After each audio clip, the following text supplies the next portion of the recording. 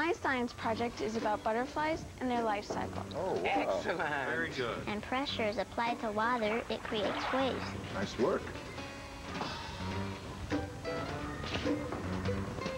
It's a Civic. Not just any Civic, a gasoline electric hybrid Civic. Where does the cord go? You never have to plug it in. How did you get this into the gym? The gasoline electric Civic Hybrid from Honda. Did your parents help you with this?